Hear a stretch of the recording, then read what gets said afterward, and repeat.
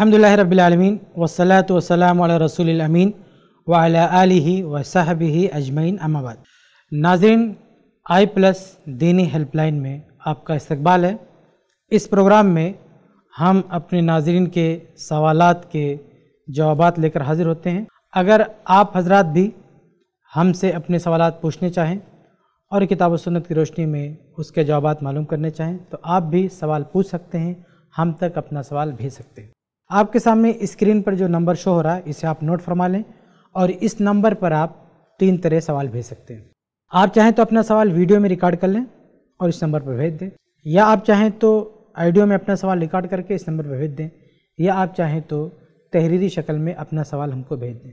लेकिन याद रहे कि जो सवाल वीडियो और ऑडियो में आते हैं, हम जवाब के लिए उनको पहले चुनते हैं। उनका जवाब हम पहले देते हैं। इसलिए अगर आप चाहते हैं कि आपके सवाल का जवाब पहले मिले तो आप वीडियो में अपना सवाल रिकॉर्ड करके हमको भेजें। या कम से कम ऑडियो में अपना सवाल रिकॉर्ड करके हमको भेजें। अलबत्त ख़वातीन से हमारी गुजारिश ये होगी कि वो सिर्फ़ तहरीरी शक्ल ही में सवाल भेजें या अपने किसी रिश्तेदार से अपना सवाल वीडियो या ऑडियो में रिकॉर्ड करके हमको भेजें। हम कोशिश करेंगे कि उन्हें भी पहले नंबर पर मंतखब करें। सवाल पूछते हुए सवाल के जो भी आदाब होते हैं उनका पास लिहाज करें। ख़ास तौर से सवाल को कम से कम अल्फाज में रखें। इसी तरह से सवाल को बामकसद बनाएँ। जिस सवाल का कोई ताल्लुक़ हो अमल से, कुछ करने से, वही सवाल पूछें। फ़र्ज़ी सवाल जिसका अमल से, इबादत से कोई लेना देना ना हो, ऐसे सवाल ना भेजें। और सवाल पूछते हुए शुरू में आखिर में अपना नाम और जहाँ आप रहते हैं, उस इलाके के नाम बताने की कोशिश करें। इन चीज़ों का ख्याल करते हुए अगर आप अपने सवाल हम तक भेजते हैं तो हम कोशिश करेंगे कि हमारी मालूम में कुरान हदीस के मुताबिक उसका जो सही जवाब होगा वो हम इंशाल्लाह आपको पेश करेंगे। तो आइए आज का प्रोग्राम शुरू करते हैं। आज के प्रोग्राम में आज हमारे सामने जो सवाल की फहरिस्त है, उसमें सबसे पहले वीडियो वाले को सवाल देखते हैं। तो देखते हैं वीडियो के सिलसिले में जो पहला सवाल है वो क्या है। अलकुम सैद मैं अखलाक अहमद दुबई से बोल रहा हूँ। शेख मेरा क्वेश्चन ये था कि मरने के बाद, आदमी के मरने के बाद उसके लिए क्या सवाब क्या करें कि उसको सवाब मिले? कोई कोई मौलाना बोलता है बस तीन चीज़ें उसके लिए सवाब है। जो करके गया है नेक औलाद उसके लिए दुआ करे और दूसरा आ, कुछ अपना अपने अपनी ज़िंदगी में कुछ ऐसा काम करके गया हो जो उससे पब्लिक को फ़ायदा हो।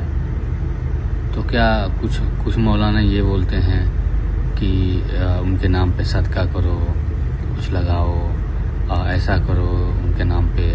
तो क्या ऐसा है? वो बहुत कन्फ्यूज़न है। समझ में नहीं आता है क्या सही है, क्या गलत है। तो उससे मुझे जो भी है क्लियर बता दें हदीस से। जजाकल्ला खैर। अलैक्म ये हमारे एक भाई हैं जो सवाल ये पूछ रहे हैं कि मरने के बाद मैत के हक में हम क्या कर सकते हैं? हम कौन सी इबादत या कौन सा ऐसा काम करें कि उसको सवाब पहुँच सके? भाई साहब फरमाते हैं कि अलग अलग लोग अलग अलग तरह की बातें करते हैं, मुख्तलिफ़ मुख्तलिफ़ बातें करते हैं।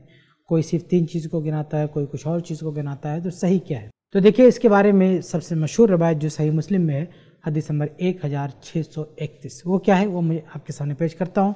यह हदीस इस मसले में आपके सवाल के जवाब में बहुत ज़्यादा अहमियत रखती है। चुनाच अबू हुरैरा रज़ी से रवायत कहते हैं कि अल्लाह के रसूल सल्लल्लाहु अलैहि वसल्लम ने फरमाया इदामत इंसान इनक़त अमल।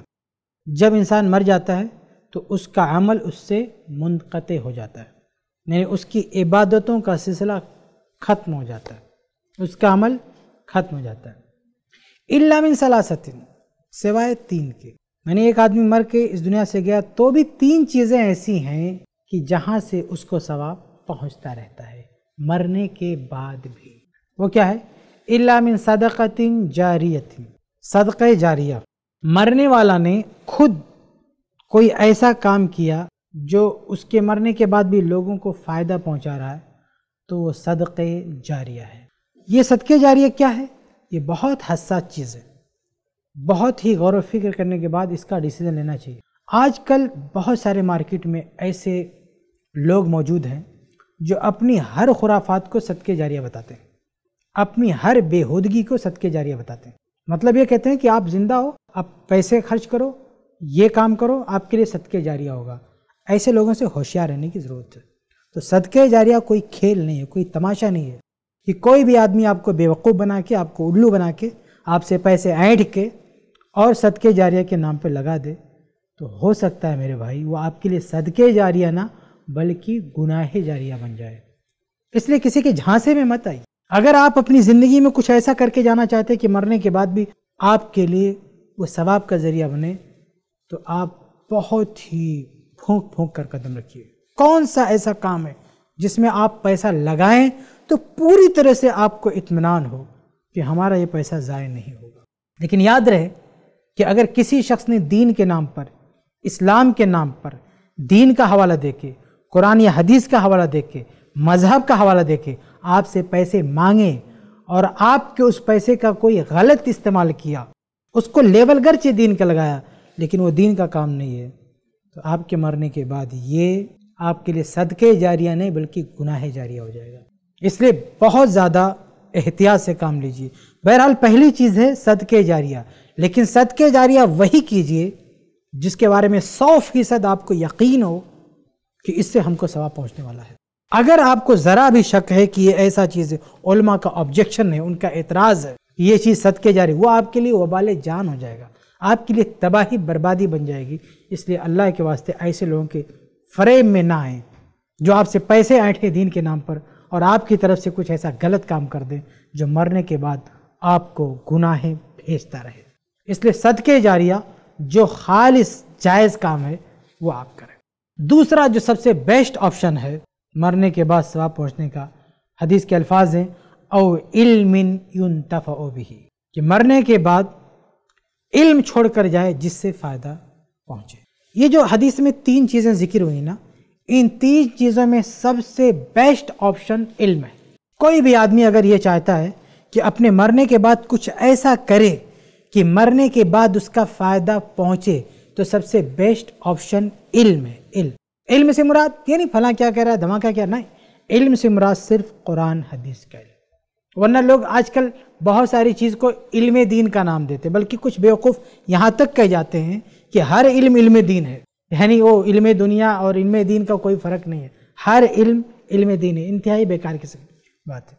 तो कुरान और हदीस का जो इल्म है, वो अलग चीज़ है, दूसरी चीज़ों का इल्म अलग चीज़ है। यहाँ जो मुराद है और इल्म तफोबी है इससे इल्म दीन मुराद कोई दूसरे उलूम में कोई चीज़ पैदा करके गया, उससे किसी को कोई फ़ायदा हो रहा है, कोई अच्छी, भला काम है तो चलो उस हद तक कोई उसको, उसके लिए एक सदक़े जारी हो सकता है।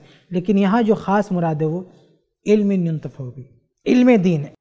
कुरान पर कोई काम करके चला जाए, हदीस पर कोई काम करके चला जाए इन इससे उसको फ़ायदा पहुँच सकता है।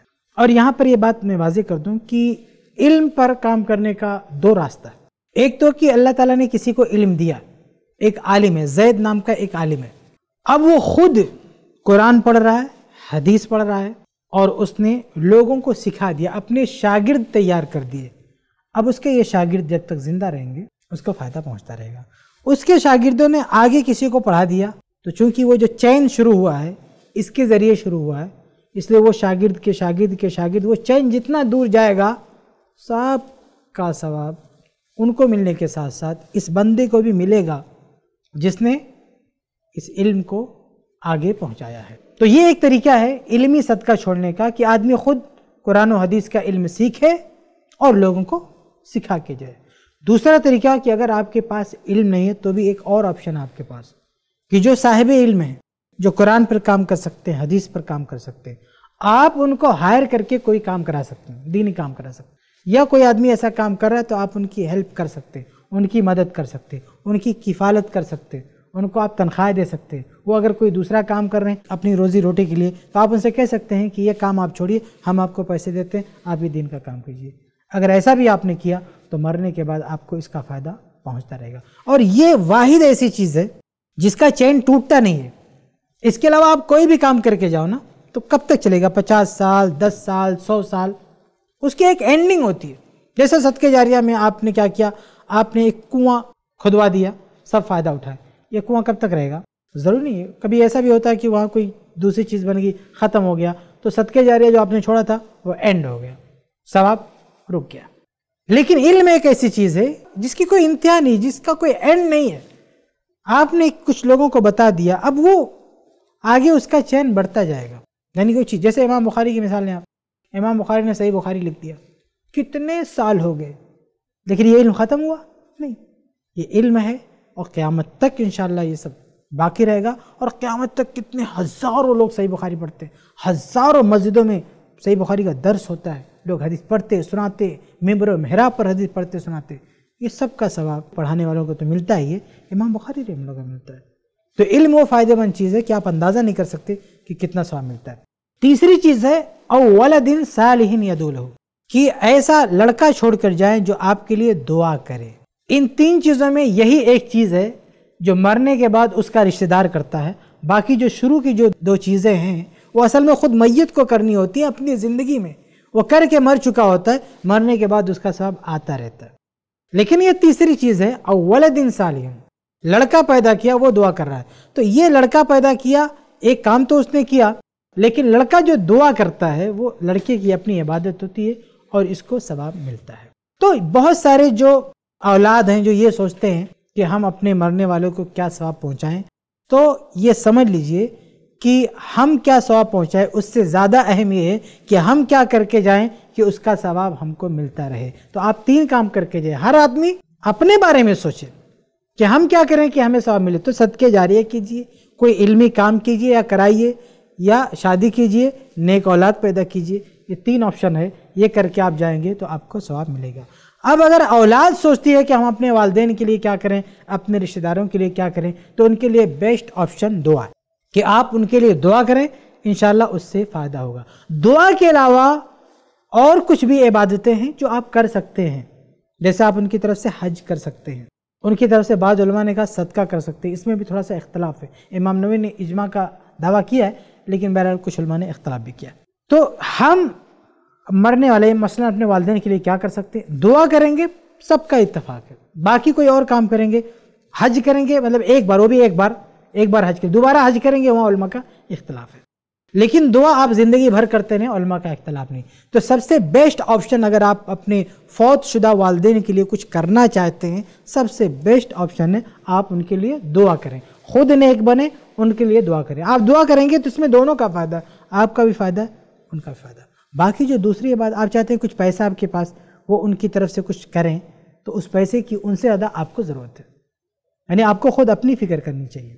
तो आप बजाय इसके हमारे अंदर ये अजीब चीज़ पैदा होती जा रही है कि एक आदमी बिल्कुल ज़िंदगी को तमाशे बना के मर गया, अब औलाद बैठ के फैसला कर रहे, क्या करें? अरे हम खुद क्यों नहीं करें?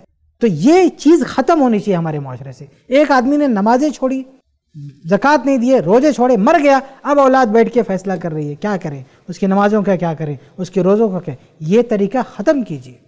और हर शख्स को पाबंद कीजिए कि वह आदमी अपनी इबादत खुद करे। तो अगर औलाद चाहती है कि अपने वालदे के लिए क्या करें तो औलाद दुआ करे बस। इसके अलावा ने इजाज़त दी है, सदका कर सकते हैं, बहुत सारी चीज़ें कर, वो कर सकते हैं। लेकिन उससे बेहतर ऑप्शन ये, दुआ करे। और बाकी अगर अल्लाह ने उसे कुछ इबादत करने की ताकत दी, अपने लिए करे। पैसा दिया, अपने लिए करे, ना कि दूसरों के लिए। लेकिन दुआ करेगा तो वो खुद भी करा उसको भी सवाब मिलेगा, और वालदेन को भी सवाब मिलेगा। तो दुआ बेहतरीन ऑप्शन है। इसके अलावा दूसरी इबादतों की तरफ़ नहीं बढ़ना चाहिए। ये खुद आदमी को ज़िंदगी में करना चाहिए, ना कि मरने के बाद वालदेन करे। तो ये तफसील थी जो मैंने आपके सामने रखी है कि अगर आप अपने वालदे के लिए कुछ करना चाहते हैं तो मेरा मशवरा है, सिर्फ़ आप दुआ कीजिए, बाकी कुछ मत कीजिए। बाकी कुछ और करने की ताकत है, अपने लिए कीजिए आप। माँ बाप के लिए सिर्फ़ दुआ कीजिए, सिर्फ़ दुआ कीजिए। बाकी कुछ और करने की हिम्मत खुद के लिए कीजिए और यही सबको सिखाइए कि माँ बाप के लिए पहले जो गुजर के हम उनके लिए दुआ करें और कुछ और पैसा है, ताकत हम अपने लिए करेंगे। यही हर कोई करे। ये सबसे बेहतरीन तरीका जो मैं समझता हूँ, जो मैंने आपके सामने रखा। उम्मीद है ये मसला आपके लिए वाजह हो गया होगा। नाजिन आगे बढ़ते हैं और दूसरा सवाल देखते हैं, हमारे पास क्या है? असलकुम शेख। मेरा सवाल यह है कि वॉशिंग मशीन के अंदर पाक और नापाक कपड़े एक साथ धो सकते हैं या नहीं? जजाकल्ला शेख ये हमारे एक भाई हैं। सलाम करते हैं। वालेकुम सलाम वरहमतुल्लाहि वबरकातुहू। पूछ रहे हैं कि वॉशिंग मशीन में पाक कपड़े और नापाक कपड़े दोनों एक साथ में डाल के धुल सकते हैं कि नहीं? इसमें कोई हर्ज की बात नहीं। भाई आप उसको धुल रहे हैं। वो कपड़ा भी पाक हो जाएगा। जो नापाक कपड़ा है, वो कपड़ा भी धुलेंगे तो पाक हो जाएगा। तो साथ में दोनों कपड़ा डाल के आप धुल सकते हैं, कोई मसला नहीं। मसला तब खड़ा होता, नापाक कपड़ा है, वो वहाँ धुलने से भी पाक नहीं होता तो एक मसला होता। लेकिन धुलने से वो तो पाक हो रहा। तो जब नापाक कपड़ा धुलने से पाक हो रहा है तो जो पहले से पाक है, वो कैसे नहीं पाक होगा? सोचें आप। तो दोनों को मिक्स करके आप धुल सकते हैं, इसमें कोई हरज की बात नहीं और इसमें कोई कुरान हदीस की ऐसी कोई दलील देने की बात नहीं। कॉमन सेंस है, एक आम आदमी समझ सकता है कि जब नापाक कपड़ा उस मशीन में धुलने से पाक हो जाता है तो पाक कपड़ा क्यों नहीं पाक होगा? मुझे नहीं लगता कि इसमें कोई इख्तलाफ करेगा, मालूम नहीं। ये सवाल आपके जहन में क्यों आया? क्या किसी आलिम ने फतवा दिया? किसी ने ऐसा कहा? मेरे लिए में ऐसी कोई बात नहीं है और मैं समझता हूँ इसमें कोई हरज की बात नहीं है। आप दोनों कपड़े एक साथ में धुल सकते हैं। उम्मीद है कि आपके लिए मसला वाज हो गया होगा। नाजिन ये वीडियो वाले सवाल थे। अब आगे बढ़ते हैं। हमारे पास आइडियो की शक्ल में कुछ सवाल हैं। उनको भी देखते हैं। असलकुम मेरा नाम मोहम्मद फैसल है। मैं आपसे ये चाहना चाहता हूँ, ये जो ज़िलहज़ा ज़िलहज़ा का जो दस दिन के अंदर कोई नॉर्मल आदमी अपने बाल कटा सकता है? जो कुर्बानी ना कर रहा हो। ये हमारे भाई सवाल ये कह रहे हैं कि जिलहिज के जो शुरू के नौ दिन हैं तो इन नौ दिनों में एक नॉर्मल शख्स जो कुर्बानी नहीं कर रहा है, क्या वो अपने बाल कटा सकता है कि नहीं? तो देखिए, सही मुस्लिम वगैरह की रवायत बड़ी मशहूर है कि अल्लाह के नबी ने फरमाया कि ईदा दखलतिल अशर, जब अशरा दाखिल हो जाए, यानी जिलहिज का इब्तदाई दस दिन शुरू हो जाए, पहली तारीख शुरू हो जाए तो उसके बाद आदमी अपने बाल और नाखून काटना बंद कर दे, अगर वो कुर्बानी का इरादा रखता है। तो इस हदीस में इदा अराद अहदुकुम अयोजहिया कि तुम में से अगर कोई कुर्बानी का इरादा रखता हो तो वो अपने बाल नाखून छोड़ दे। तो इसे पता चलता है कि जो कुर्बानी का इरादा नहीं रखता है, उसके लिए यह चीज़ वाजिब और ज़रूरी नहीं और यही सही बात है कि जो कुर्बानी कर रहे हैं, उनके लिए तो ये ज़रूरी है कि वो इन दस दिनों में अपने बाल नाखून नहीं काटेंगे। लेकिन जो कुर्बानी नहीं कर रहे हैं, उनके लिए इसकी गुंजाइश है कि वो अपने बाल नाखून काट सकते हैं। क्योंकि उनके लिए ऐसा कोई वाजबी हुक्म हो, कुरान और हदीस में ऐसी कोई चीज़ मौजूद नहीं है। अलबत् अगर दूसरे लोग भी सवाब हासिल करने के लिए अपने बाल और नाखून छोड़ दें, गर्चे वो कुर्बानी नहीं कर रहे हैं तो इन इसका भी उन्हें सवाब मिलेगा। सुनाचे सुना नबी दाऊद वगैरह की रवायत है कि एक सहाबी को अल्लाह के नबी ने फरमाया कि कुर्बानी के दिन अगर तुम्हारी ताकत नहीं कुर्बानी करने की तो क्या करना कि जब लोग कुर्बानी कर रहे होंगे, अपने जानवर ज़बा कर रहे होंगे तो तुम अपने मोश काट लेना। तकुस शारीबा का अपने मोश काट लेना। तहलिक आन का जेर नाप बाल साफ़ कर लेना। सर के बाल साफ़ कर लेना। तो ये सब करो ना, अपने नाखून काट लेना। तो ऐसा करोगे तो तुम्हें भी कुर्बानी का सवाब मिल सकता है। इस हदीस में इशारा है कि उस दिन काटे मतलब दस दिन तक ये भी अपने बाल नाखून छोड़ दे और लोगों के साथ में काटेगा तो इसे भी कुर्बानी का सवाब मिलेगा। तो अगर आदमी अमल करता है तो बहुत अच्छी बात। ये रवायत सही है, याद रहे कि ये रवायत सही है, शेख अलबानी रमला ने इसको इसलिए ज़यीफ़ कहा क्योंकि उसमें एक रावी था, ईसा बिन हिलाल असदफ़ी तो शेख अलबानी रमला को उसकी तोसीक नहीं मिली, इसलिए उन्होंने ज़यीफ़ कहा था। लेकिन अलमारिफ़ा और तारीख में उसकी तोसीक मौजूद है। इमाम इबन हजर रमला ने उसको सदुक कहा, इसलिए ये रवायत सही है। तो बहरहाल ये वाजिब नहीं है, ज़रूरी नहीं है। अगर आदमी पाबंदी करता है तो अच्छी बात है। लेकिन अगर आदमी बाल नाखून काट ले, कुर्बानी जो नहीं कर रहा है तो कोई हरज की बात नहीं है। उम्मीद है कि आपको जवाब मिल गया होगा। आगे बढ़ते हैं, दूसरा सवाल देखते हैं। असलकम वरहमतुल्लाहि वबरकातुह। मेरा एक सवाल है, मेरा दोस्त है, बहुत ज़्यादा थोड़ा ज़िद मदार और ये बहस करने वाले करते हैं वो। उन, वो उनका कहना है कि न्याज फातिहा एकदम गलत नहीं है, वो और न्याज फातिहा कहीं अगर कहीं लिखा हुआ नहीं करना चाहिए तो बताएँ हमको हदीस से इससे ऐसे साबित है कि नहीं, हम तब नहीं करेंगे। वो ज़्यादा ही बहस करते दीनी मामला को लेके। थोड़ा सा इस इस पर तोज्जो देके, थोड़ा सा इन पर थोड़ा मेरे को थोड़ा मसला इसका बता दीजिए, हल कर दीजिए। ये हमारे एक भाई का सवाल है, पूछ ये रहे हैं कि इनका कोई साथी है, कोई दोस्त है? जो इनसे ये कहता है कि न्याज फातिहा नहीं करना चाहिए, ऐसा कहाँ लिखा हुआ है? यानी कोई इनका साथी जो इनसे कह रहा है कि कुरान में या हदीस में कहीं ऐसा लिखा हुआ बता दो, कि लिखा हो कि न्याज नहीं करना, फातिहा नहीं करना तो हम नाज, न्याज फातिहा करने से रुक जाएँ। यानी मना कहाँ है, ये बताओ। तो ये पूछ रहे हैं कि मना कहाँ है, ये बताओ। तो इस सिलसिले में कुछ बुनियादी चीज़ें आपके सामने रखनी ज़रूरी हैं। वो ये इस्लामी जो अहकाम हैं, वो उनको हम दो किस्मों में बांट सकते हैं। वो अहकाम जो इबादत से मुतलिक हैं, वो अहकाम जो मामला से मुतलिक हैं। तो इबादत के सिलसिले में जो शरीयत का हुक्म है, वो ये कि इबादत में आपको कुछ भी करने के लिए सबूत चाहिए। वहाँ आप ये सवाल करोगे कि ये चीज़ कहाँ बताई गई है? अगर वो चीज़ का सबूत ना हो तो आप वो इबादत नहीं कर सकते हो। और मामलात में मामलात में आप ये सवाल कर सकते हैं कि क्या चीज़ मना है? यानी कोई काम आप कर रहे हैं, कोई आपको रोके तो आप कह सकते हैं कहाँ मना है। तो ये फ़र्क करना बहुत ज़रूरी है। इबादत के मसले को और मामले के मसले को अलग अलग रखना ज़रूरी है। और ये उसूल, ये जबता कि दोनों को अलग रखना है, ये हम अपनी तरफ़ से नहीं कर रहे हैं। बल्कि अल्लाह के नबी वसल्लम ने ख़ुद ये दो उसूल दिए हैं। ये दोनों फ़र्क किया है। चुनाच मुस्त अहमद की रवायत है, हदीस में बारह हज़ार पाँच सौ चौवालीस। उसमें अल्लाह के नबी वसल्लम फरमाते हैं इदा का न शई उम मिन अमर दुनिया को कहा कि जब तुम्हारे दुनिया का कोई मसला हो, दुनियावी मामला तो फ़न तुम आलम भी तो तुम बेहतर जानते हो। और एक रवायत में, फ़शानकुम, जैसा चाहो करो। यानी कोई दुनियावी मसला है, जैसे खाने का मसला, पीने का मसला, कोई भी मसला है तो इसमें तुम जैसा चाहो करो। मतलब बाई डिफ़ॉल्ट आज़ादी दे दिया। अब अगर इन दुनियावी मामला में किसी ख़ास मसले के बारे में अल्लाह के नबी ने निशानदेही कर दिया, भाई ये नहीं करना। सिर्फ़ उससे रुकना है, बल्कि बाई डिफ़ॉल्ट अल्लाह के नबी आज़ादी दे रहे हैं कि दुनियावी मामला में जो चाहो करो। तो ये एक उसूल मिला कि मामला में हमारे लिए सब जायज़ है, इल्ला कि दलील मिल जाए कि ये चीज़ हराम है। लेकिन आगे अल्लाह के नबी सल्लल्लाहु अलैहि वसल्लम क्या फरमाते हैं? कहते हैं फ़ैदा का मिन अमर दीनिकुम। लेकिन अगर तुम्हारे दीन का कोई मसला फ़ैया तो मेरा सबूत मांगो।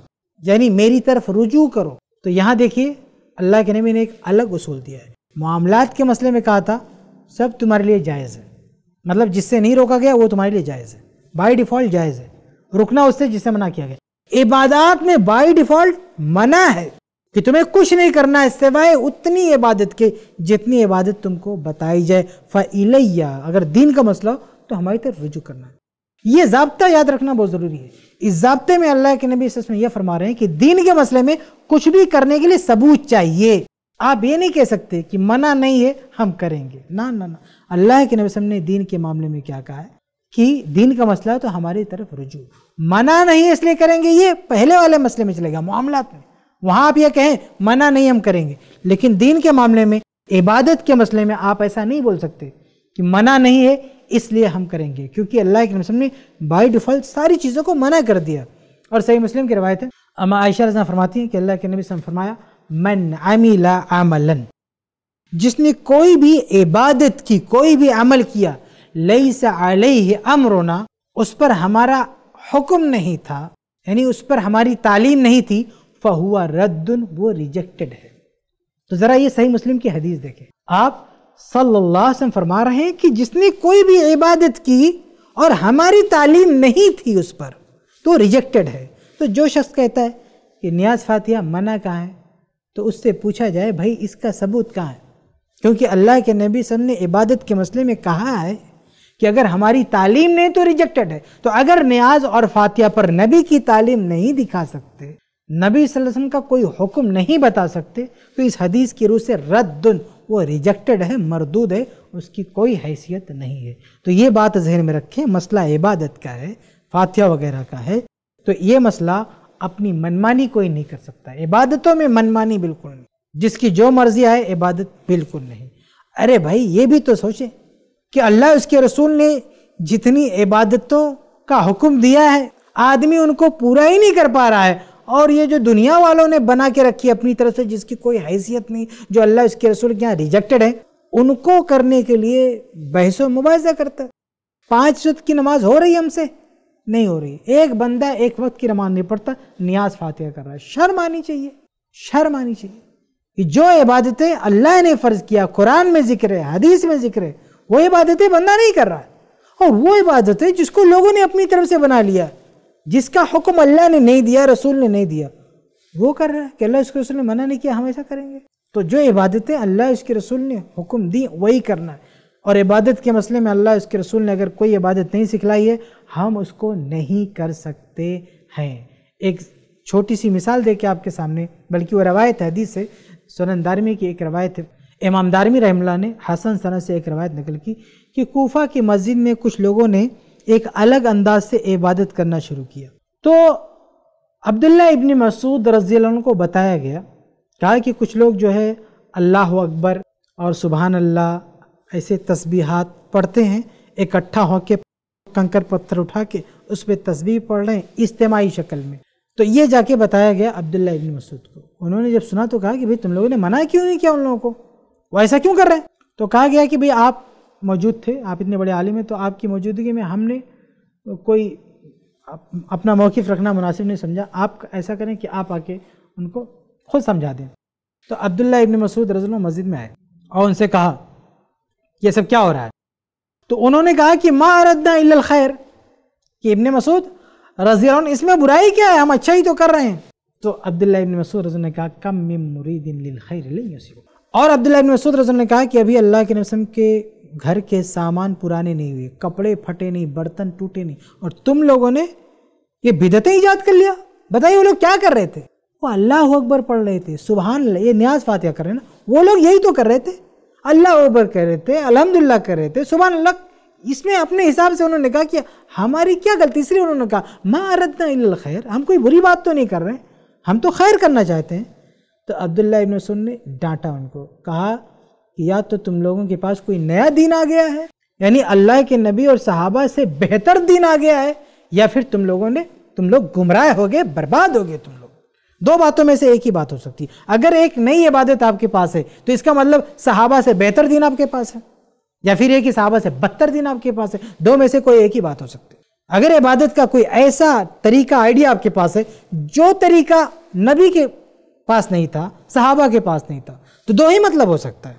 कि वो तरीका या तो उनके तरीके से बेहतर या बदतर है। तो यही अब्दुल्ला इब्ने मसूद रजू ने कहा। ये मैं नहीं कह रहा हूँ, ये अब्दुल्ला इब्ने मसूद रज़ी ने उन लोगों से कहा कि या तो तुम साहब कराम से बेहतर दिन पा गए हो या उनसे बदतर दिन तुमने अपना लिया है। सिर्फ़ इतना ही नहीं, बल्कि अब्दुल्ला इब्ने मसूद रज़ी ने उस मस्जिद में नमाज़ पढ़ना बंद कर दिया। और कहा, जब तक तुम लोग ये सब बिदतें ख़त्म नहीं करोगे मैं नमाज़ पढ़ने नहीं आऊँगा। उन लोगों ने वो बिदत ख़त्म की, वो रोका। तब अब्दुल्ला इब्न मसूद रजनों मस्जिद में आना शुरू किए। और आज हम कितनी आसानी से कह देते हैं कि न्याज फातिया मना कहा अगर ऐसी बात होती तो अब्दुल्ला इब्न मसूद तो उनकी तायद करते। करो, बहुत अच्छी बात है, मना कहा? करो। तो मेरे भाइयों, ये बिदातें बहुत बड़ी मुसीबत होती हैं। कुरान हदीस में जो इबादतें बताई गई हैं, वो क्या कम हैं? क्या वो काफ़ी नहीं है? या उन्हें हम बजा ला चुके हैं, कर चुके हैं, फिर भी हमारे पास वक्त बचा है, कुछ और करें। ऐसा कुछ ये कितनी बड़ी बदनसीबी की बात है कि जो असल इबादतें हैं, वो हम कर ही नहीं रहे जिन पर पूरी दुनिया का इत्तेफाक है, जिससे किसी को इख्तलाफ नहीं। आप पाँच वक्त की नमाज़ पढ़ें, कौन आपको रोक रहा है?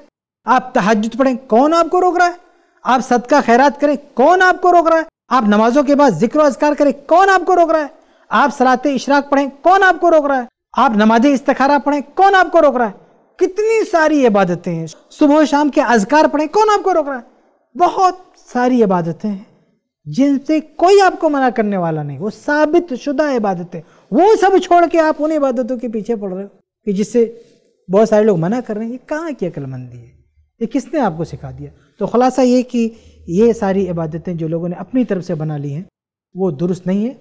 जो इबादत कुरान से साबित है, सिर्फ़ उसी को अंजाम देना चाहिए। उम्मीद है कि आपके लिए मसला वाजह हो गया होगा। नाजरन, ये चंद सवाल थे वीडियो और आइडियो की शक्ल में।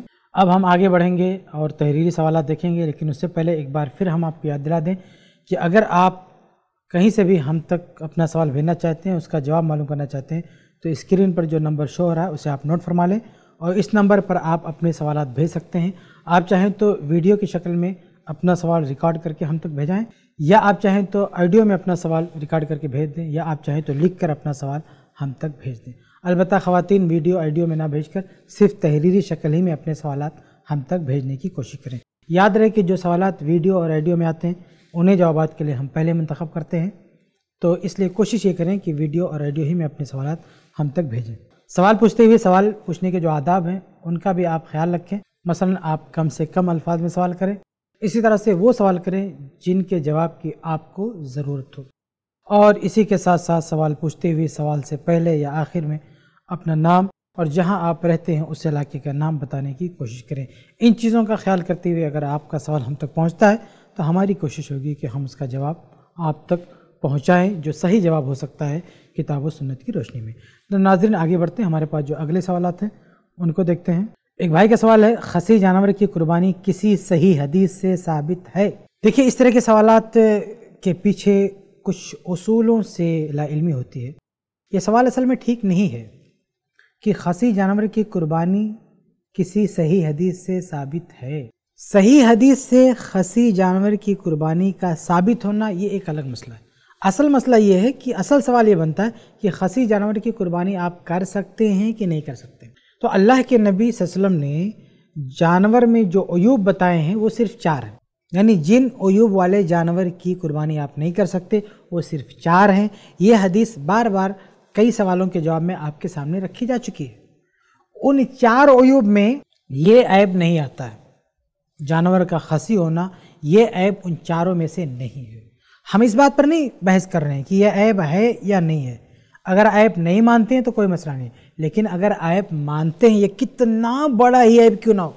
जानवर का खसी होना, ये कितना ही बड़ा ऐब क्यों ना हो? लेकिन ये उन चार अयूब में से नहीं है, जिनको गिना कि अल्लाह के नबी ने कहा, इसकी कुर्बानी नहीं होगी। इसलिए खसी जानवर की कुर्बानी इस पर कोई शख्स अपनी तरफ़ से पाबंदी नहीं लगा सकता। जो लोग कहते हैं कुर्बानी नहीं कर सकते, यही कहते ना, ऐब है। ऐब है, लेकिन इस ऐब वाले जानवर की कुर्बानी नहीं होगी। ये तुम्हें किसने बताया? अल्लाह ने बताया, अल्लाह के रसूल ने बताया, या तुम पर वही आएगी? किसने तुमको बताया कि ये कुर्बानी नहीं कर सकते? अगर किसी हदीस में या कुरान की आयत में यह लिखा होता, कोई ऐबदार जानवर की कुर्बानी नहीं होगी। तो तुम्हारा कहना सही होता। लेकिन ऐसा तो कुरान में नहीं है, ऐसा तो हदीस में नहीं है कि ऐबदार जानवर की कुर्बानी करना ही नहीं है। बल्कि हदीस में तो ये कि फ़ला फ़ला ऐब वाले जानवर की कुर्बानी नहीं करनी है।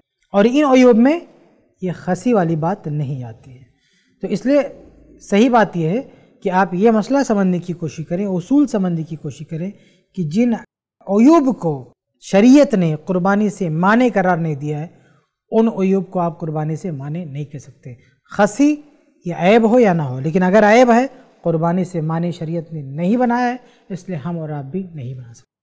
जहाँ तक आपके ख़ास इस सवाल की बात है कि कोई सही हदीस से इसका सबूत मिलता ही नहीं, कि यानी आपने ऐसा किया हो तो देखिए इस बारे में सुनन इब्ने माजा की रवायत है, हदीस नंबर तीन हज़ार एक सौ बाईस। और कई कुतुब में ऐसी रवायतें कि अल्लाह के नबी सल्लल्लाहु अलैहि वसल्लम ने खसी करदा जानवर की कुर्बानी की है। लेकिन ये सारी रवायतें ज़यीफ़ हैं। उनमें अगर सबसे गनीमत वाली रवायत या सबसे ज़ोफ़ में भी सबसे कम जिसमें ज़ोफ़ हो, उसकी बात करें तो ये इब्ने माजे की रवायत है। और इसमें यह है कि काना इदा अरादा अयोज़हिया अल्लाह के नबी वसल्लम जब कुर्बानी का इरादा करते थे, इस तरह कबशैन अजीमैन समीन तो आप दो बड़े, मोटे जानवर चुनते थे। अकरन अमलहन मतलब खूबसूरत और अच्छे जानवर और मौजून खसी करदा जानवर। तो इस हदीस में है कि आप वसल्लम जो दो खूबसूरत और अच्छे जानवर कुर्बानी करते थे तो वो दोनों खसी किए हुए होते थे। ये इब्ने माजा की हदीस हदीस नंबर तीन हज़ार एक सौ बाईस। इसमें ज़ौफ़ हल्का लेकिन बहरहाल, इसमें भी ज़ौफ़ है, क्योंकि इसमें जो एक रावी हैं, अब्दुल्ला बिन मोहम्मद बिन अकील। सेका रावी हैं, सदुक रावी हैं। बहुत सारे लोगों ने उनको ज़यीब भी कहा है। बहुत सारे लोगों ने उनको सिका भी कहा है, लेकिन कम से कम इतनी बात है कि ये सच्चे रावी है। लेकिन मसला ये है कि इन्होंने इस हदीस को बयान करते हुए कई तरह का इसतराब वाली बात पेश की है। कभी कुछ तरह से बयान किया, कभी किसी तरह से बयान किया।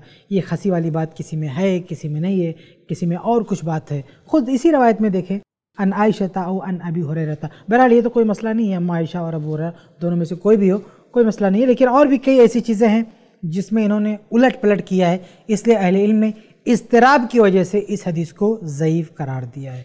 तो अगर आप ख़ास ऐसी रवायत तलाश कर रहे हैं, जिसमें यह लिखा हो कि नबी ने ऐसे जानवर को ला के कुर्बानी किया, जिसको खसी किया गया था तो ऐसी कोई रवायत मौजूद नहीं है। लेकिन ये मसला अपनी जगह पर साबित है कि अगर खसी करदा जानवर की कोई कुर्बानी करेगा तो वो कुर्बानी हो जाएगी, क्योंकि अल्लाह के नबी ने जो गिनाया है कि फ़ला फ़ला ऐब देखना है, उसमें यह खसी वाला ऐब नहीं है। खुलासा ये कि खसी जानवर की कुर्बानी से मतलब जो सरी रवायतें मिलती हैं, वो ज़यीफ़ हैं। अलबत् उसूली तौर पर ऐसे जानवर की कुर्बानी हो सकती है, जैसा कि आपके सामने वाजे किया गया, उम्मीद है कि आपको जवाब मिल गया होगा। आगे बढ़ते हैं, अगला सवाल देखते हैं। अगला सवाल है, क्या कोई मुसलमान नमाज़ नहीं पढ़ने से काफिर हो जाता और वो कभी भी जन्नत नहीं जाएगा? तोहीद की बुनियाद पर भी तो देखिए अम अरबा में इमाम अहमद बिन हम्बल रहमुल्ला का ये फतवा है कि बेनमाजी काफिर है। और उसी वजह से हनाबला का यही मानना है, अक्सर लोगों का, बल्कि तकरीबन समझिए, सारे हम्बली इस पर मुतफिक नज़र आते हैं, सवाए कुछ लोगों को छोड़ के। उनकी अक्सरियत इस बात पर मुतफिक है कि बेनमाजी काफिर है। और काफिर का मतलब समझते हैं? मतलब ये सिर्फ़ टाइटल नहीं देना है, बल्कि हनाबला का फतवा ये भी है कि अगर वो काफिर है तो अगर वो मर गया तो उसकी नमाज़ जनाजा नहीं। और काफिर है, और उसके बाप का इंतकाल हुआ, उसकी प्रॉपर्टी में इसको हिस्सा नहीं मिलेगा। यानी एक बेनमाजी है, उसके अगर अब्बा मर गए तो उसके अब्बा के माल में इस बेनमाजी का हिस्सा नहीं है। मसलन किसी के तीन बेटे, एक बेटा बेनमाजी है दो बेटा नमाज़ पढ़ने वाला तो उसकी जब जायदाद बटेगी तो जो नमाज़ पढ़ने वाला बेटा उसी को मिलेगा। जो बेनमाजी बेटा ना उसको जायदाद नहीं मिलेगी। ये हम्बली मसलक का फतवा है कि ये कुफ्र है। और हकीकत में इनके पास दलाइल हैं और बहुत मज़बूत दलाइल हैं। मैं एक रवायत आपके सामने बताऊँ। सही मुस्लिम की रवायत है, हदीस नंबर बयासी। उसमें अल्लाह के नबी सल्लल्लाहु अलैहि वसल्लम फरमाते हैं कि इन बैन रजुली व बैन शिरकी वलकुफरी तर्क सला। कि आदमी और शिरक और कुफ्र के बीच में जो फासिल है, जो दीवार है वो नमाज़ पढ़ना या नमाज़ को छोड़ना। यानी अगर एक आदमी नमाज़ पढ़ता है तो कुफ्र और शिरक से बचा हुआ है। लेकिन अगर उसने नमाज़ छोड़ दिया तो ये दीवार को ढा दिया, अब वो कुफ्र और शिरक के कुएँ में गिर पड़ेगा। उसको कोई रोक नहीं पाएगा। ये हदीस बताती है बज़ाहिर ये हदीस कहती है कि अगर कोई नमाज़ छोड़ेगा तो वो काफिर हो जाएगा। इस हदीस का ज़ाहिर यही कहता है। लेकिन बहुत सारे अहले इल्म ने ये कहा है कि काफिर तो हो जाता है, लेकिन ऐसा काफिर नहीं होता। है कुफरन दोना कुफ वाली इस्तलाह इस्तेमाल करती हूँ कि वो छोटा मोटा कुफ्र है। यानी इस कुफ्र से वो शरीयत के बाहर नहीं चला जाता। यानी हकीकी और कुल्ली तौर से काफिर नहीं हो जाता वो। बल्कि ये बहुत बड़ा गुनाह है नमाज़ छोड़ना। तो इस गुनाह को बहुत बड़ा बताने के लिए उसको कुफ्र का टाइटल दिया गया है।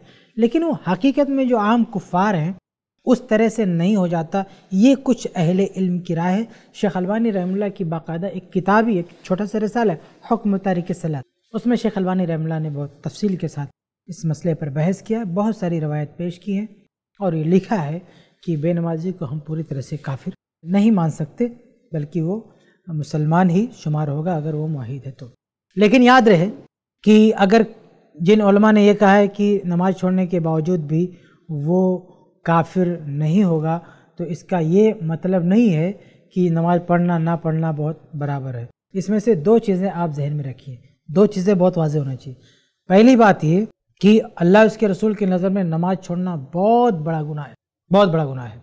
ये गुनाह सगीरा नहीं, गुनाह कबीरा है। और बहुत बड़ा लॉस भी है। नमाज़ छोड़ना बहुत बड़ा लॉस है। दुनिया में भी और आखिरत में भी।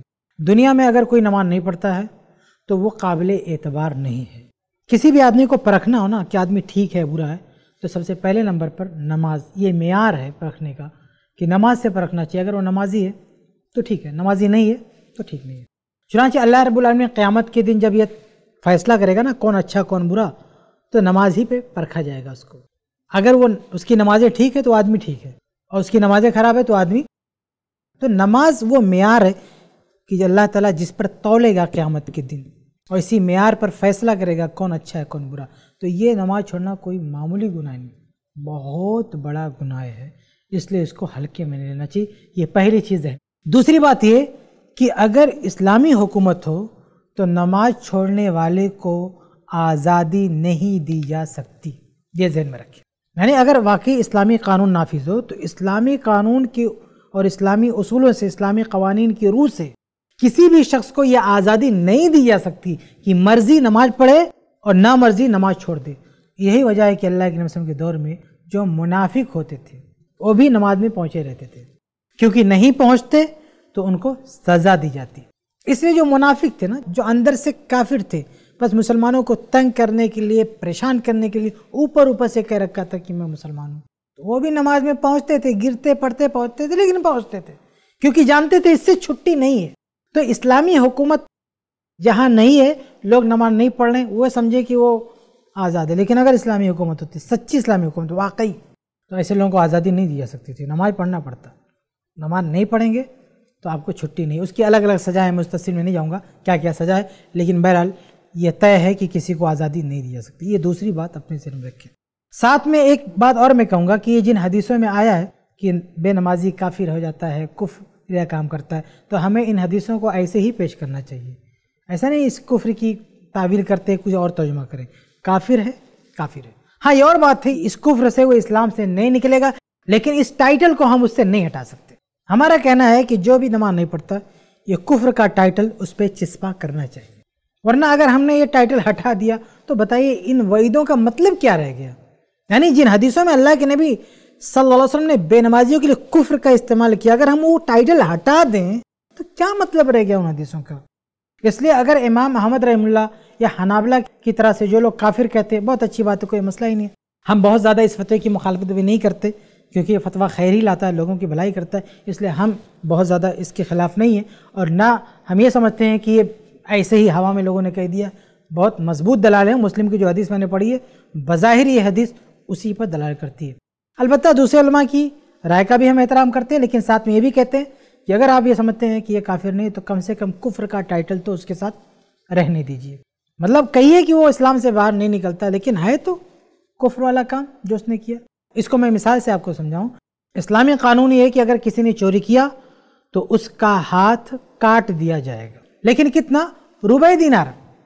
अगर कोई रुबे दीनार चोरी करता है, यानी एक दीनार का चौथा हिस्सा चोरी करता, उसी का हाथ काटा जाएगा। जैसे आज कोई पाँच दस रुपया किसी की जेब से निकाल ले इस्लामी हुकूमत हो तो उसका हाथ नहीं काटेंगे।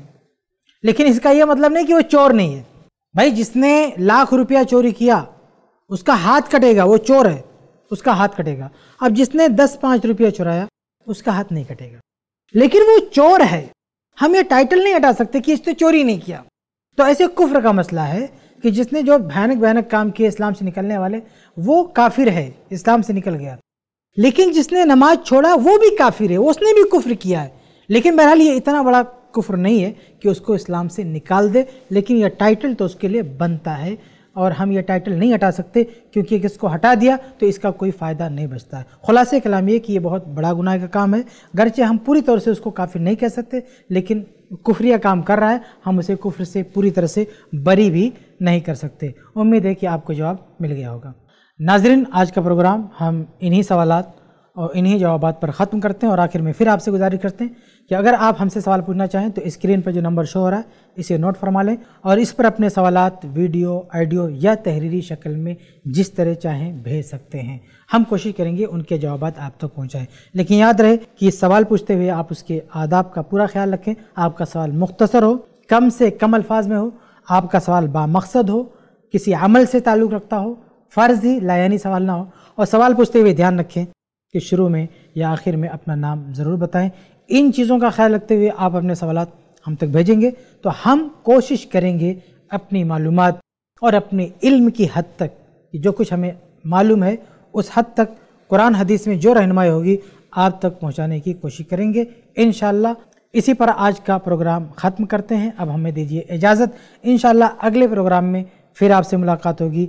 नए सवाल और नए जवाब के साथ अल्लाम वरहमल वर्का ऐसे ही और वीडियोस बनाने में हमारी मदद करें।